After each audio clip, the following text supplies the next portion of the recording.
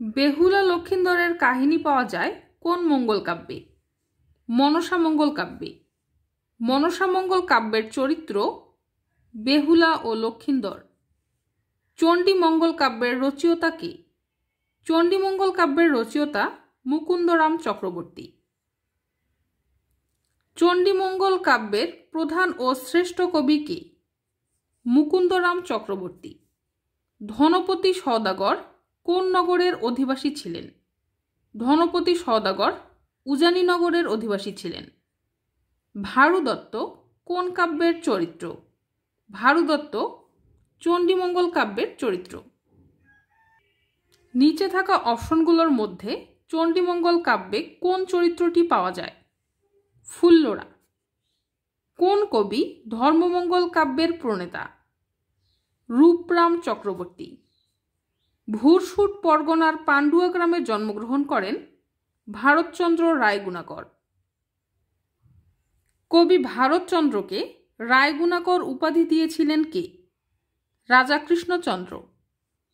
মধ্যযুগে বাংলা সাহিত্যের শ্রেষ্ঠ কবিকে মধ্যযুগে বাংলা সাহিত্যের শ্রেষ্ঠ কবি বলা হয় ভারতচন্দ্রকে। অন্নদামঙ্গল কাব্য কে রচনা করেন? অন্নদামঙ্গল কাব্য রচনা করেন ভারতচন্দ্র রায় গুণাকর। নিচে থাকা অপশনগুলোর মধ্যে ভারতচন্দ্র রায় গুণাকর কোন কাব্য রচনা করেন? অন্নদামঙ্গল কাব্য। করচা শব্দের সমার্থক শব্দ কোনটি? করচা শব্দের সমার্থক শব্দ রোজ নামচা।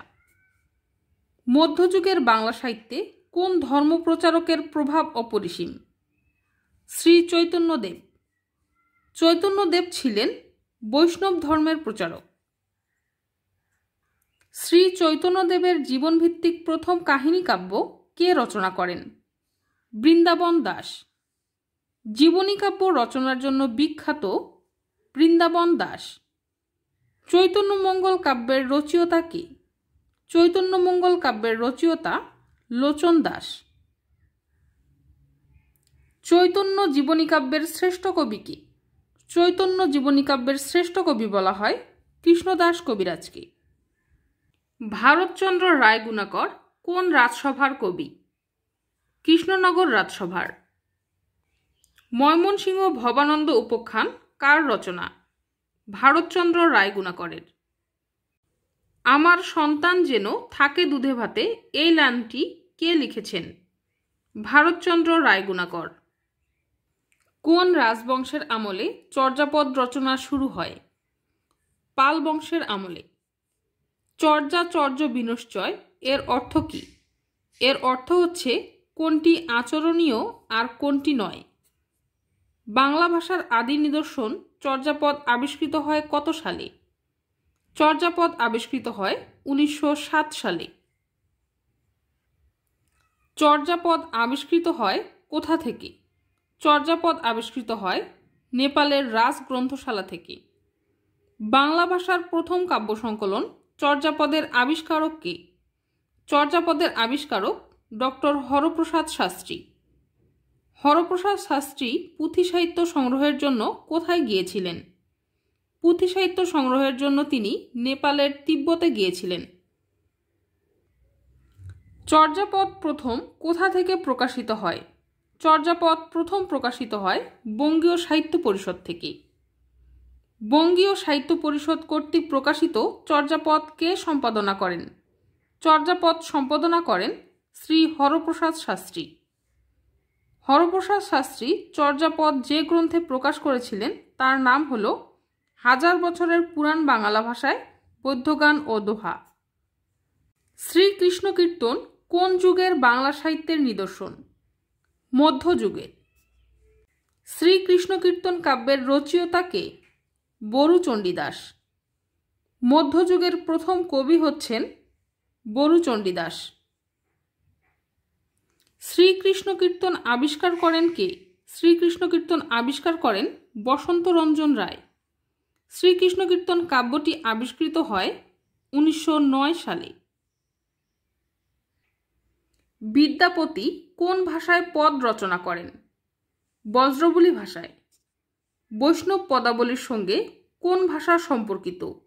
বৈষ্ণব পদাবলীর সঙ্গে সম্পর্কিত বজ্রবলী ভাষা। বজ্রবলী বলতে কি বোঝায়? বজ্রবলী এক রকমের কৃত্রিম কবি ভাষা। বাংলা এবং মৈথিলি ভাষার সমন্বয়ে যে ভাষার সৃষ্টি হয়েছে তার নাম কি? বজ্রবলী। বজ্রবলী কোন স্থানের ভাষা? বজ্রবলি মিথিলার ভাষা। বজ্রবলি ভাষার প্রবর্তক কে?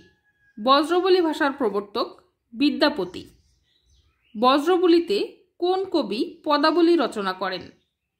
বিদ্যাপতি। নিচে দেওয়া অপশনগুলোর মধ্যে কাকে বিদ্যাপতির ভাবশিষ্য বলা হয়? গোবিন্দ দাসকে। গীত গোবিন্দ কোন ভাষায় রচিত? গীত গোবিন্দ, সংস্কৃত ভাষায় রচিত। এ ভরা বাদর মাহ ভাদর শূন্য মন্দির মোর, এই উক্তিটি কে লিখেছেন? এটি লিখেছেন বিদ্যাপতি। বৈষ্ণব পদকর্তা চণ্ডীদাস কতজন? চণ্ডীদাস মোট তিনজন। সবার উপরে মানুষ সত্য, তাহার উপরে নাই, এই কথাটি কে বলেছেন?